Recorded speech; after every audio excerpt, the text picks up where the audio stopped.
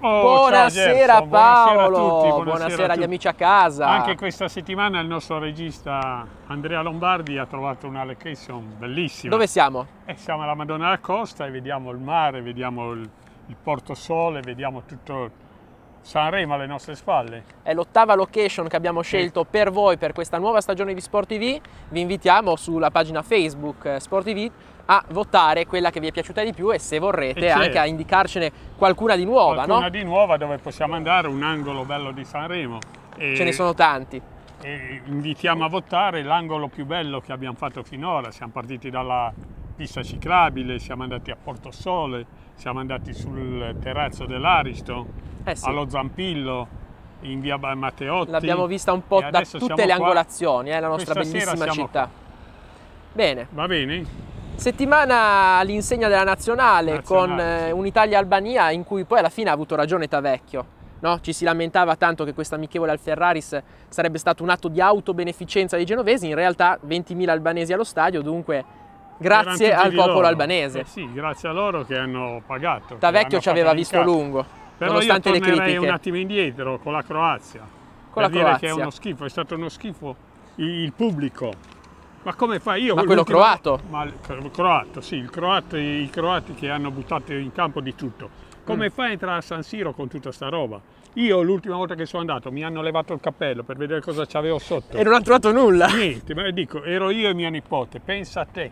E questi qua hanno fatto entrare di tutto, di tutto allo stadio. È bellissimo perché fra gli Eh, italiani i controlli si spingono anche fino ai bambini, no? Viene No. negata la bottiglietta Sì, di plastica sì, sì, e invece i croati ti fanno levare il tappo, ti fanno levare addirittura il tappo. C'era già stato il precedente d'Italia-Serbia a Genova, Guarda, ricordi, guarda, con io- Ivan io- il Terribile, Mi Ivan è Bogdanov. passata la voglia anche di andare allo stadio.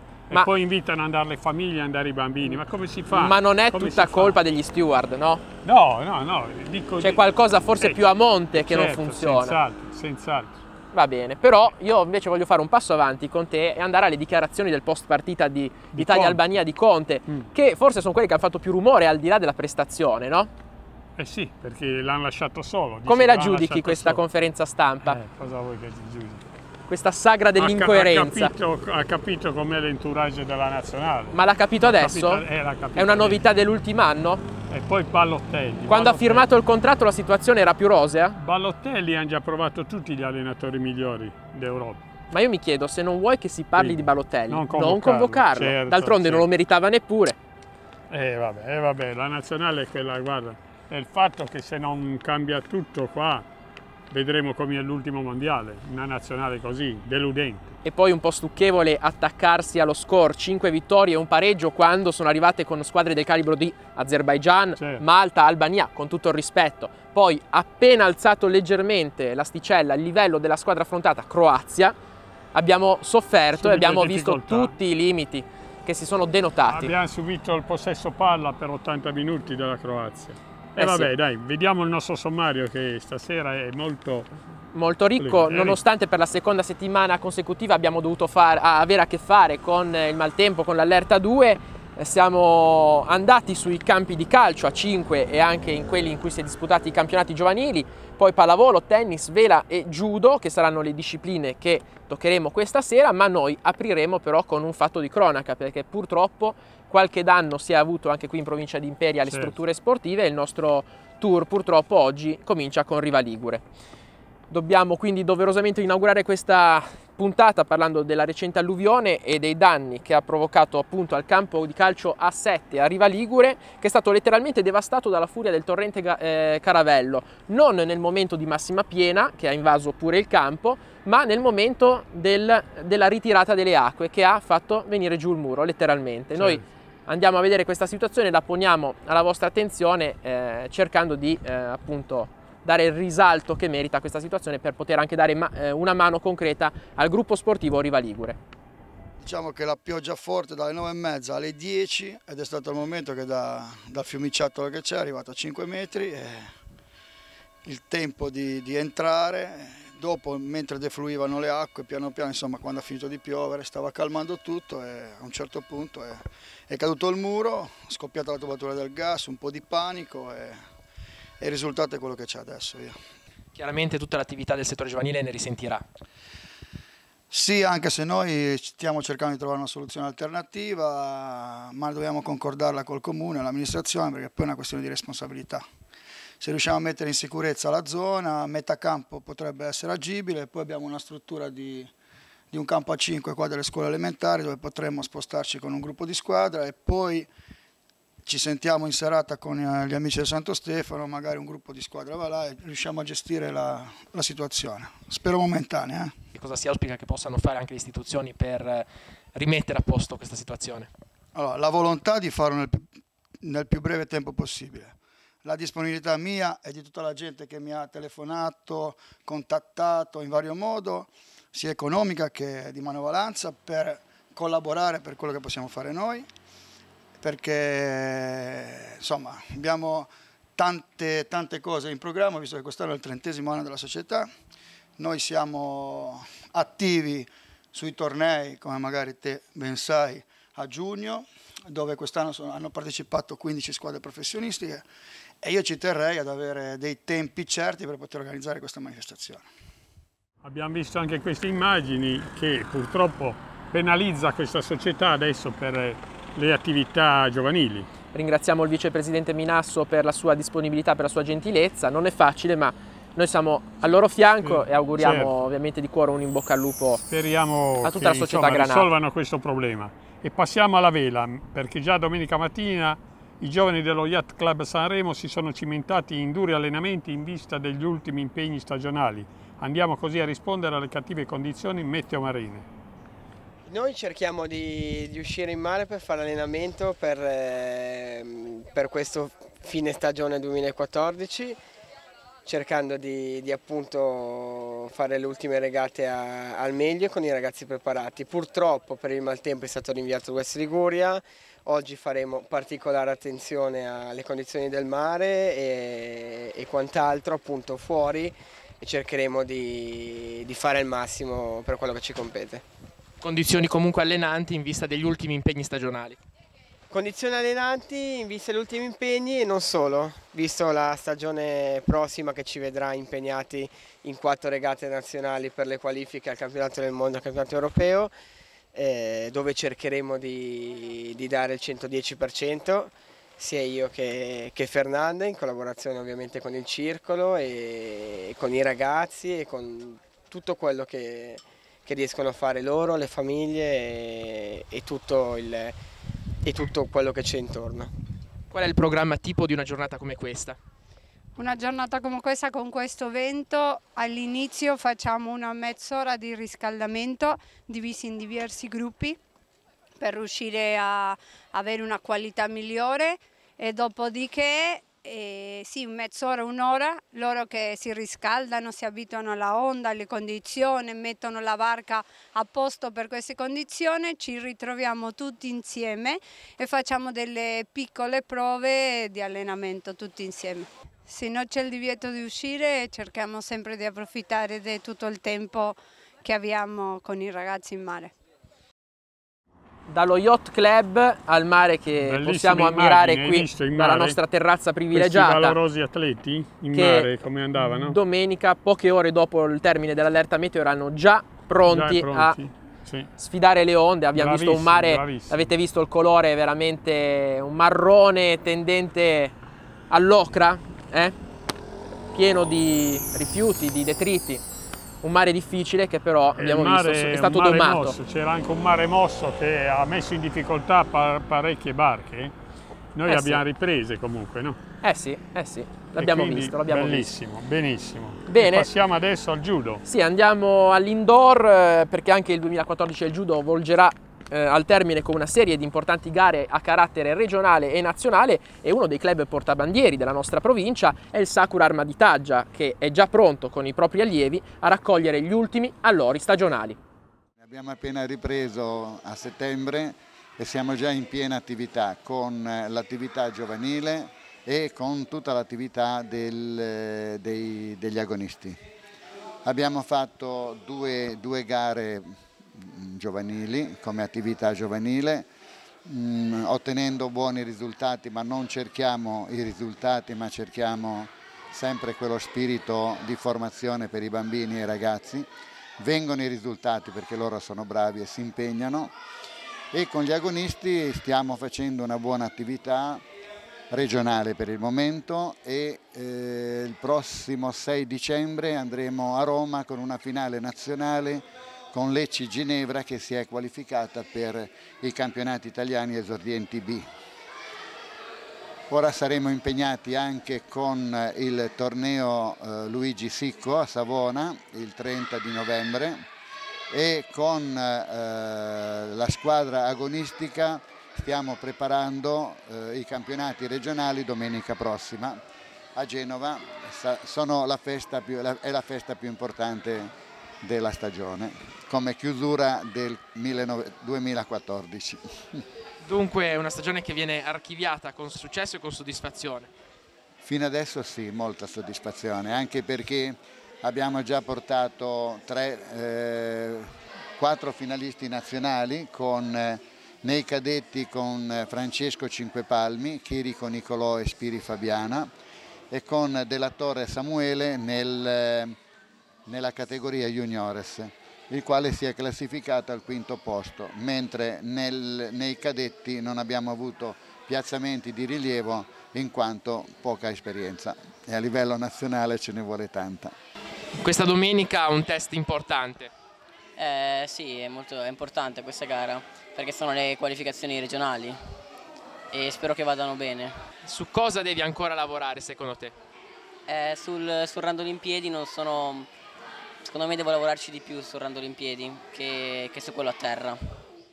Abbiamo parlato di judo Paolo, ma tu hai la testa fra le nuvole. Col maestro Alberto Ferrigno, dove c'ho la, la testa fra Lo stanno nuvole? vedendo sono... tutti i nostri amici a casa, no, è inutile no. che lo neghi. Sono qua, sono qua, ben presente. Non fare come Conte. E adesso passiamo al calcio a 5. Assieme a mister Franco Basta andiamo a scoprire l'impegno cui sarà sottoposta questa sera all'Ospedaletti Calcio a 5 nel proprio stadio. Vediamo il servizio. Dopo la sosta forzata dello scorso weekend si torna in campo, turno di campionato insidioso contro il Priamar. Sì, loro sono ben messi in campo, giocano molto in velocità, di conseguenza il problema grosso sarà eh, resistere al loro, al, loro, loro forcing che faranno, sono tutti giovani, corrono, giovani, non giovanissimi ma giovani comunque, quindi corrono e ci verranno a pressare, vedremo, lavoreremo su un paio di, di uscite pressing questa settimana proprio per evitare eh, il rischio pressing loro, e vedremo. Noi è peccato aver fatto questa pausa perché viene nel momento sbagliato, è venuta in quanto la squadra giocava bene, avevamo trovato finalmente il ritmo, avevamo trovato giocate, è un po' un peccato. Squadra che avete già affrontato in Coppa, Savona fu 1-1, qui a Ospedaletti 3-3. Sì, appunto, sono stati due, due, due pareggi e quindi speriamo questa volta veramente di fare bottino pieno. E ogni volta i pareggi dove loro erano davanti. Eh, speriamo di andare davanti noi e metterli in difficoltà perché loro tutte le volte sono stati in vantaggio, qui addirittura erano 3-1 fino a 5 minuti dalla fine, eh, poi siamo riusciti a portare a casa perlomeno un 3-3, tutte e due volte nel recupero, tutte e due volte con Bianco, eh, una a un minuto dalla, dalla fine del recupero e l'altra a 30 secondi alla fine del recupero, infatti ha messo a palla al centro e poi ultima azione è finita la partita. Speriamo questa volta invece di, di, di portarla a casa, anche perché sulla carta, mm, visti i, i giocatori, potremmo, potremmo, tranquillamente portarla a casa. È, è, che non capiti qualcosa a livello di testa e che ci blocchi, tutto, tutto questo può essere il problema.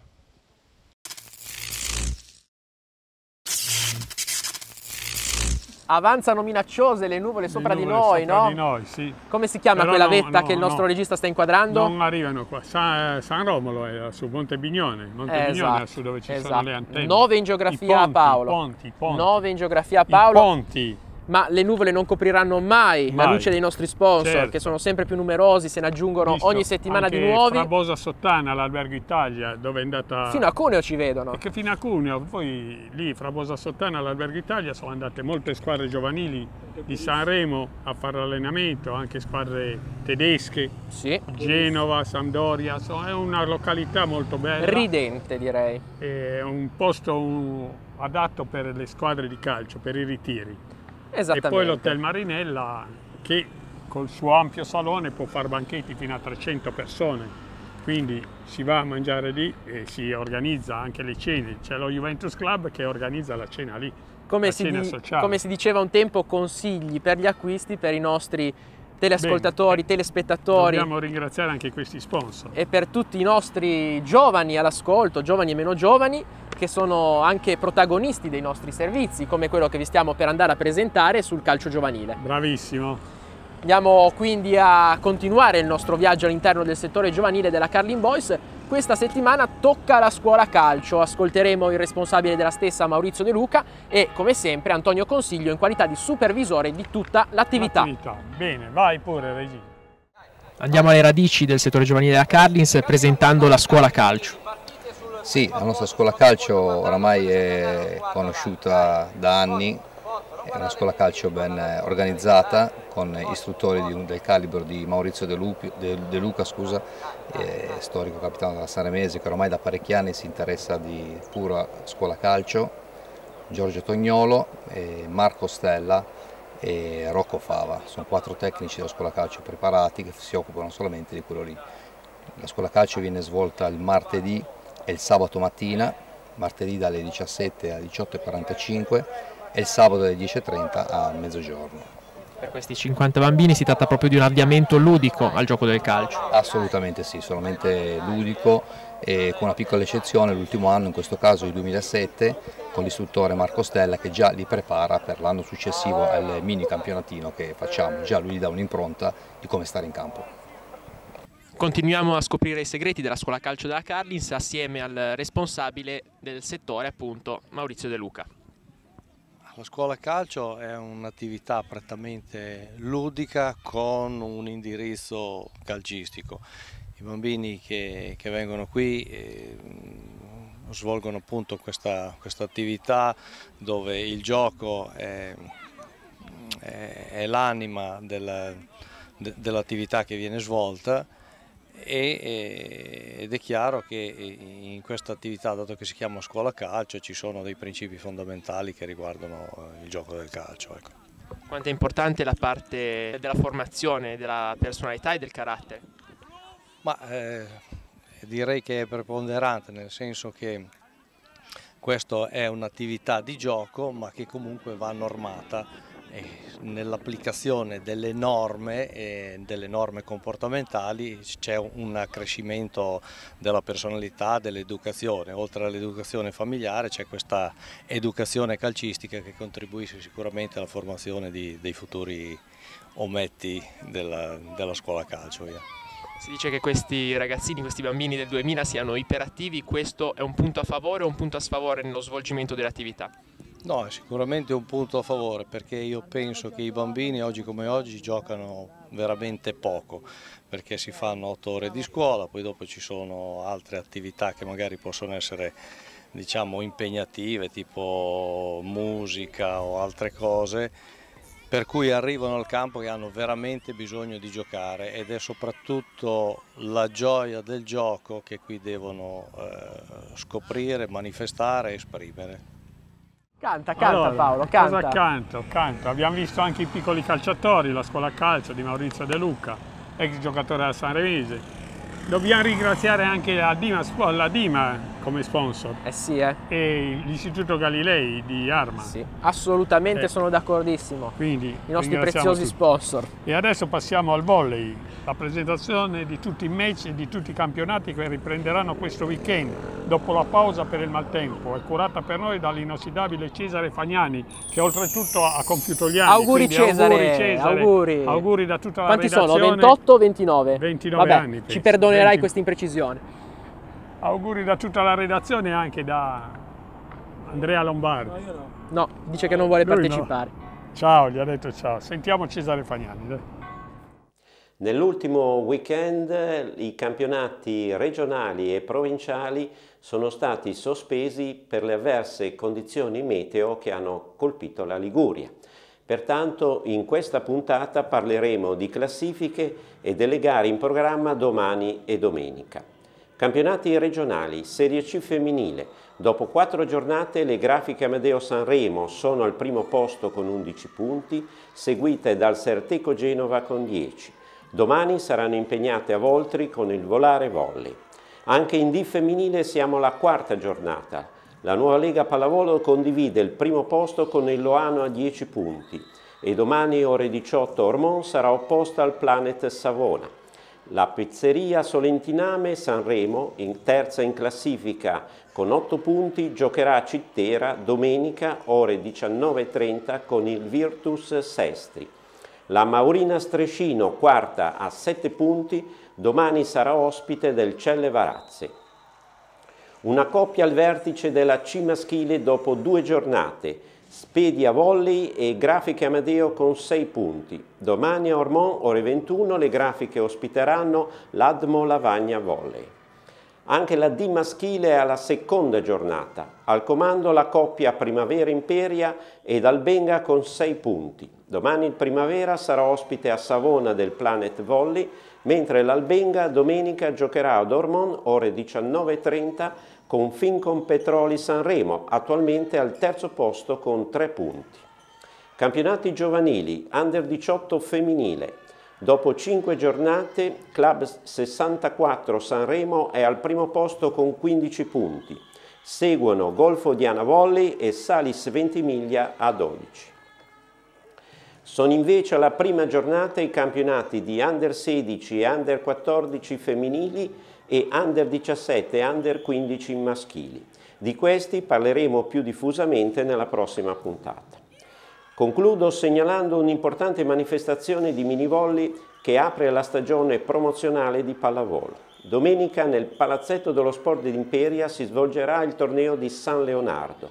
Al mattino a partire dalle ore 9.15 le categorie primo livello anni 2007-2008 e secondo livello anni 2005-2006. Al pomeriggio dalle ore 14.15 la categoria Under 12, anni 2003-2004.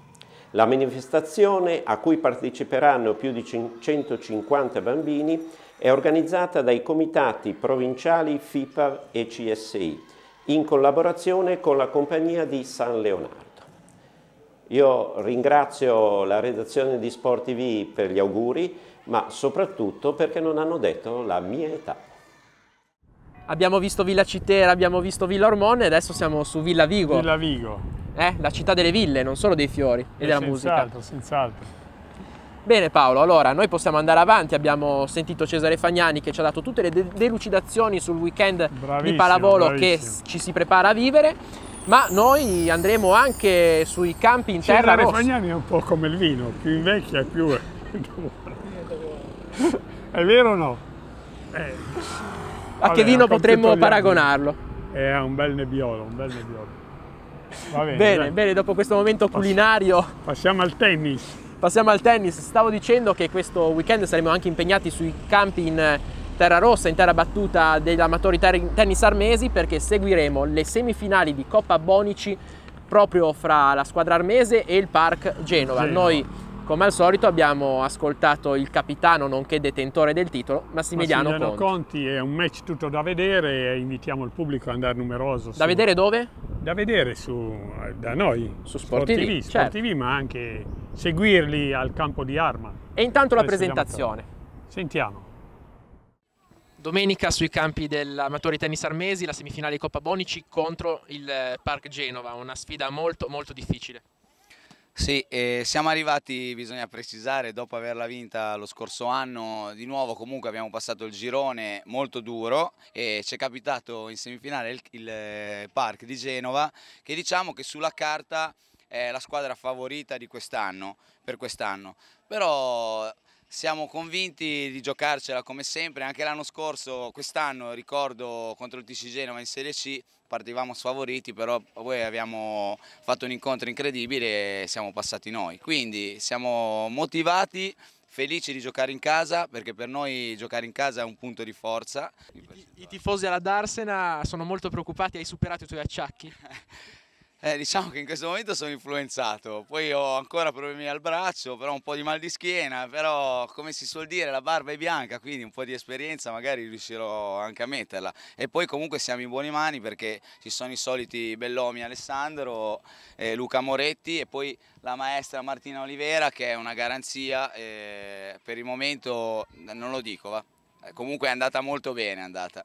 Quali le maggiori insidie del match di domenica? Eh, beh, loro sono comunque una squadra veramente forte perché il Paracageno è sempre stata una squadra forte in tutte le competizioni. Però noi appunto giochiamo in casa, il tifo come è successo l'anno scorso in Serie C ci ha dato una mano grandissima anche se giocavamo con una squadra fortissima, quindi sarà un punto di forza a nostro favore e chiunque giocherà al singolo sicuramente sarà un match duro, però se noi siamo avvantaggiati proprio dal tifo per fare magari impaurire un po' gli avversari e poi tutti gli incontri sono aperti, sia il singolo sia il doppio, non si, si vedrà domenica, non si sa, tutto il 50%. Addio, Ciao! Ciao! La nostalgia canaglia eh, della sì. nostra regia che va a inquadrare i luoghi dove abbiamo già registrato le precedenti puntate di Sport TV. E dove abbiamo il nostro yacht, eh? è ancora ormeggiato, è ancora là, ormeggiato è tranquillo, lì. non si muove. Finché noi siamo qua non si muove. Multe accatastate sul lunotto, eh, eh Paolo, occhio, occhio. Allora ricordiamo YouTube Ricordiamo Facebook. il nostro canale YouTube, Redazione Sport TV con l'accento sulla I e anche la pagina Facebook Sport TV dove abbiamo già detto potrete votare le location che abbiamo scelto per voi per le puntate di Sport TV e anche indicarci dei suggerimenti per le prossime. E prima di mandare l'ultimo servizio, l'ottavo, facciamo due pronostici. Due pronostici, torniamo... Atalanta-Roma. Atalanta-Roma 2. 2. Tu? Lazio-Juve, io X. Lazio-Juve 1. Eh, lo sapevo già. Milan-Inter. Tu, tu, non ti nascondere Paolo. X, sì, io 3X eh. ho dato. Ah, 3X. Milan-Inter 2. 2. Mamma mia, mamma mia. Occhio, eh. Ah, Anche se sei guardato il mezzo busto, Andiamo. possiamo sempre scendere di qualche centimetro. Proseguiamo. Allora abbiamo l'ultimo servizio, proprio col coordinatore dell'Inter Club eh, Claudio Restelli. Regionale, Claudio Restelli. Un parere autorevole sul momento che sta attraversando l'Inter, no? Eh sì, su poi l'evento di questa settimana, la cacciata di Mazzari, è arrivato Mancini, Roberto Mancini, che noi tutti amiamo. Non si è voluto esporre però fa... sul risultato del derby. Eh? Però ci è tornato il sorriso a noi tifosi interisti, perché vedremo finalmente giocare la squadra come si deve. Magari Bene. non vinciamo, però la vedi giocare. Comincia a mettere le mani avanti. Questo, questo è l'atteggiamento giusto. Come Conte, sei come Conte. L'hai odiato come allenatore della Juve, ma sei come Conte. Va bene, comunque lasciamo i telespettatori all'ultimo servizio. Se siete arrivati tardi e non avete visto la prima parte della puntata, ricordate le repliche alle ore 23, 23 20. 20 e alle ore 13.10 il sabato. Dunque, sempre sul canale 216 Tele Sanremo o www.telesanremo.tv con live streaming che è una Bravissimo. novità delle ultime settimane. Se invece siete ancora più distratti e non siete riusciti ancora una volta a vedere la puntata, pagina Facebook Sportivi l'abbiamo già ricordata, redazione Sportivi il canale YouTube, anche lì trovate tutto. E mi raccomando, votate, votate la location migliore che vi piace a voi, l'angolo di Sanremo che vi è piaciuto di più. Bene, e adesso Paolo. la parola a Claudio Restelli. Buona serata, a presto, buon weekend. In questi casi l'allenatore paga per colpe proprie, ma anche probabilmente della società, dell'ambiente, dei giocatori paga l'assenza di risultati, la, la, difficoltà di gestione di questo gruppo che sembrava un pochino allo sbando e soprattutto paga eh, questo feeling mai scattato con la tifoseria e, e, e, lo, e lo, stadio lo, ne dava atto perché non, praticamente nelle ultime partite, non, eh, soprattutto nelle ultime partite, c'era un preoccupante decremento delle, delle, presenze allo stadio, oltre alla contestazione del, dell'allenatore. A Sanremo abbiamo sempre visto l'Inter al torneo internazionale arrivare fino in fondo, mettendo in mostra giovani interessanti, però poi alla fine dei conti in prima squadra non ci arrivano in molti, forse anche la scelta di Mazzarri non era proprio in questa direzione. Sì, lui diciamo che dal punto di vista di valorizzazione dei giovani non è mai stato, anche l'anno scorso se vi ricordate Kovacic la, la, la, lo faceva giocare molto eh, alla fine, alla fine del campionato, quando c'è stata tutto l'anno la, pressione da parte della società di farlo giocare. Eh, I giovani, quest'anno c'è una primavera fortissima del, dell'Inter che sta avendo dei risultati incredibili e molti di questi ragazzi fanno già parte del gruppo della prima squadra, eh, Puskas, Bonazzoli, Camarà, però chiaramente non, lo spazio è, era, era, minore per loro. Vedremo Mancini, Mancini di solito con i ragazzi li ha, li ha, sempre più valorizzati, li ha sempre fatti giocare. Vedremo, vedremo anche il cambio di modo, adesso siamo all'inizio, ma eh, una cosa sicuramente ehm, devo dire anche per questo lo, lo vedo già nel, nei miei club, eh, ha riportato grande entusiasmo I risultati vedremo, ma l'entusiasmo c'è, attualmente c'è tanto entusiasmo questo, per questa figura, questo allenatore che comunque con l'Inter ha vinto tanto. È un allenatore che conosce l'ambiente perché secondo me lui ha detto giusto anche in conferenza stampa, quando io sono arrivato all'Inter eh, mi sono messo lì, ho avuto il buon senso di allenare questi grandi campioni, ma non, poi facevano loro, nel senso l'Inter non è una squadra, oltre ad allenare è da capire. E tu devi conoscere l'ambiente. Se conosci l'ambiente e ti integri con l'ambiente puoi far bene, lui conosce perfettamente l'ambiente Inter.